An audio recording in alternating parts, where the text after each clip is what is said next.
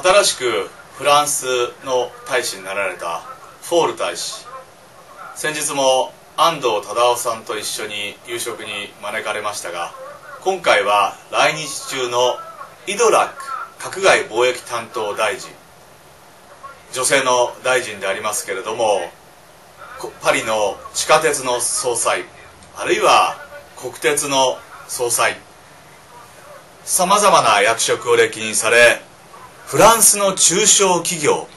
83社を率いて日本の中小企業あるいは日本の有名な企業との提携の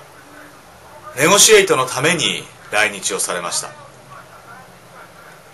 フランスでの女性の社会進出というものは日本より進んでおりますけれどもこのイドラック大臣もこの内閣に入る前にもうすでに2つの閣僚を歴任されております。運輸担当大臣も歴任されこの運輸行政あるいは羽田空港の民営化あるいは成田空港の民営化こういうものに大変関心を持たれておりましたしフランスと日本のこの地政学的な距離の差を乗り越えてフランスという国ではなくヨーロッパと日本の関係の濃密化経済のさらなる交流発展を模索するために初めて民間企業を連れての来日となったわけです。昨年は中国に行かれたそうです。一昨年はアメリカに行かれたそうです。やはりこういう中で企業間同士の連携というものがグローバル社会の中ではますます強まっていくことが重要であると認識しました。そこでまあ一つ大きな問題は皆様方も先日飛んできたのを見られたと思いますけれどもエアバスの新型飛行機 A380 全席が2階建てとなっている大変大きな飛行機でありますけれども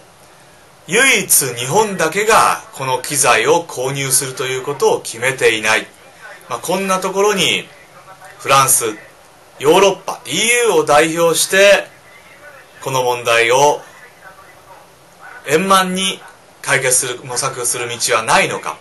こんな話にも大きなフォーカスが当たったことが大変印象に残りました。日本でのボーイングとエアバス2つの大きな旅客機の製造メーカーのシェアは大体8対2アメリカでも大体5対5だということを考えますと日本がやはりヨーロッパの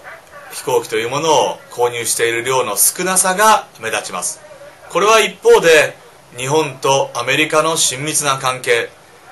ボーイングと日本の企業との親密な関係の裏返しなのかもしれません。